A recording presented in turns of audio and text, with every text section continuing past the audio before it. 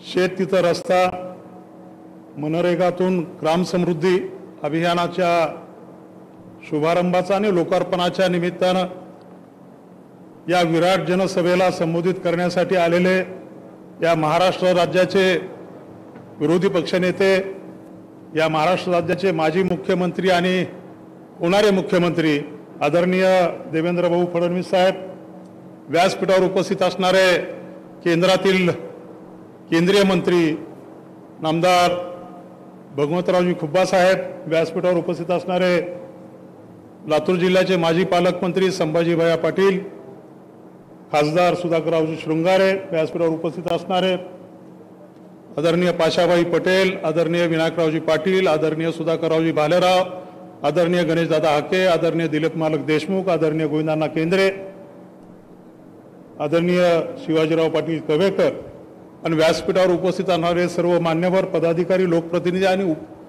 अभिमन्यू पवारांच्या कामाची साक्ष देण्यासाठी म्हणून अभिमन्यू पवार साहेबांना आशीर्वाद देण्यासाठी म्हणून एवढ्या हजारोंच्या संख्येने आपण जमलेले सर्व या मतदारसंघातील माझे शेतकरी बांधव आणि एवढ्या मोठ्या संख्येने महिला भगिनी या कार्यक्रमाला अभिमन्यू आपल्याला आशीर्वाद देण्यासाठी उपस्थित आहेत. आज अभिमन्यू साहेबांनी ज्यावेळेस सांगत होते की त्यांनी काय काय संकल्प केलेले आहेत काय काय त्यांना करायचं आहे.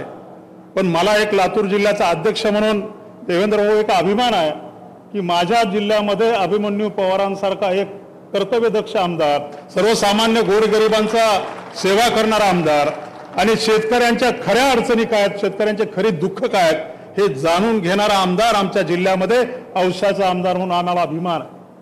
त्याच्यामुळं अभिमन्यू साहेब तुम्ही आत्ताशी अडीच वर्ष झालेत. मी भाऊंच्या साक्षीने सांगतो भाऊ आमच्या जिल्ह्यामध्ये गणपतराव देशमुख अभिमन्यू पवारच होतील. आणि येणारे पन्नास वर्ष जोपर्यंत अभिमन्यू पवार आहेत जोपर्यंत ते चालू शकतात तोपर्यंत ह्या औषधाचे आमदार अभिमन्यू राहतील ना? सगळ्यांची संमती आहे. अभिमन्यू साहेब तुम्ही दोन वर्षात जिंकले. आम्ही पंधरा पंधरा वर्ष घासलं. पण तुम्ही दोन वर्षामध्ये आणि भाऊ तुम्ही एवढा एक चांगला कार्यकर्ता एक चांगला चेला एक चांगला पैलवान पाच वर्ष त्याला इतकी ट्रेनिंग तुम्ही दिली की त्याला कुठं काय केल्यानंतर कुठलं बटन दाबल्यावर कुठं लाइट लागते कुठलं बटन दाबल्यावर कुठं बंद होते याचं सगळं नॉलेज आमच्या सहकारी आमच्या आमदारांना आहे. मला अभिमान असा वाटतो मी सुद्धा एक शेतकरी आहे. गावाकडं आपण कितीही प्रयत्न केला तर शेतात बैलगाडी जाय न्यायचं म्हणलं तर अनेक अडचणी आहेत. आणि गावामध्ये रस्ता करायचं जरी ठरवलं तर शेतामध्ये सख्या भावामध्ये सुद्धा भांडणं होतात. पण अभिमन्यू तुमचं खरंच कौतुक आहे आणि मला अभिमान सुद्धा आहे की तुम्ही शेतकऱ्यांची दुःख जाणली शेतकऱ्यांच्या वेदना जाणली कारण की जोपर्यंत आता माझ्या संचलन करणाऱ्याने सांगितलं की हृदयाच्या रक्तवाहिन्या आहेत शेतीचं रक्तवाहिन्या आहेत शेतरस्ते आहेत.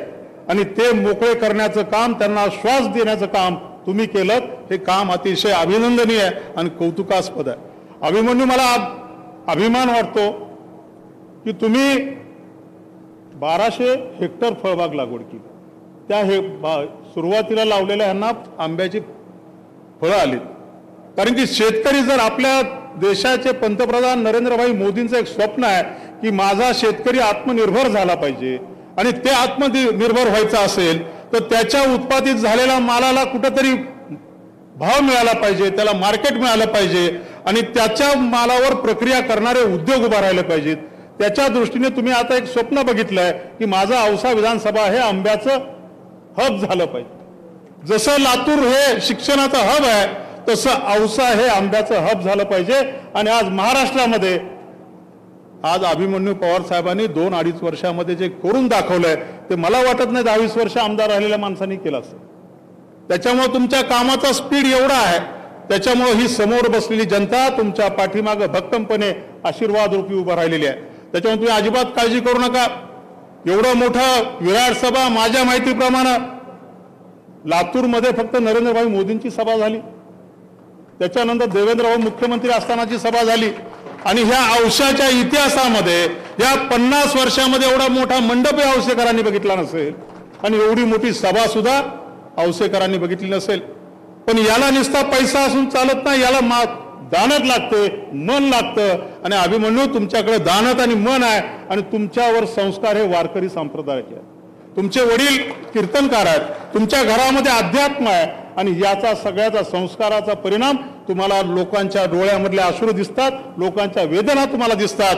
म्हणून तुम्ही हे सगळी कामं करतायत. हे कामं करण्यासाठी आमच्या जिल्ह्याच्या वतीने आम्ही सगळे तुमच्या बरोबर आहोत. देवेंद्र भाऊ सारखे नेते.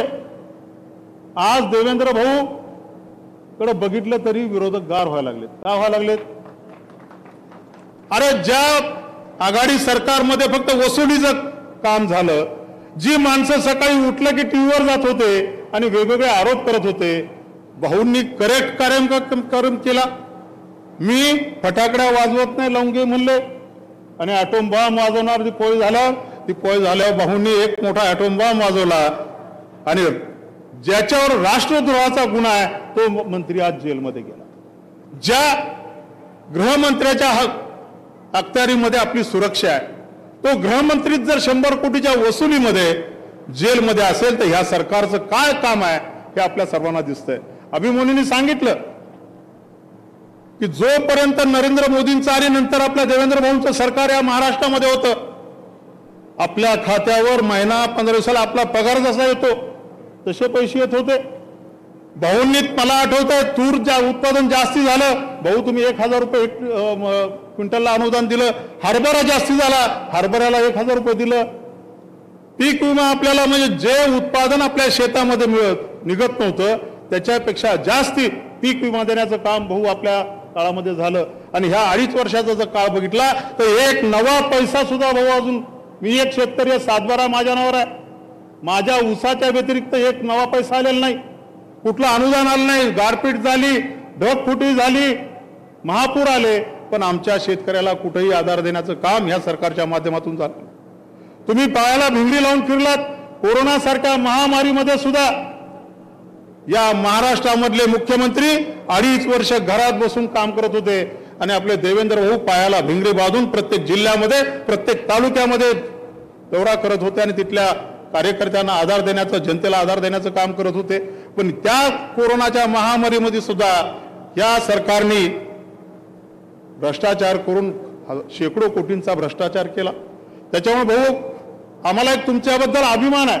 महाराष्ट्रामध्ये आम्ही तुमच्या नेतृत्वामध्ये काम करतो याचा अभिमान आमच्या सगळ्या कार्यकर्त्यांना असल्यामुळं.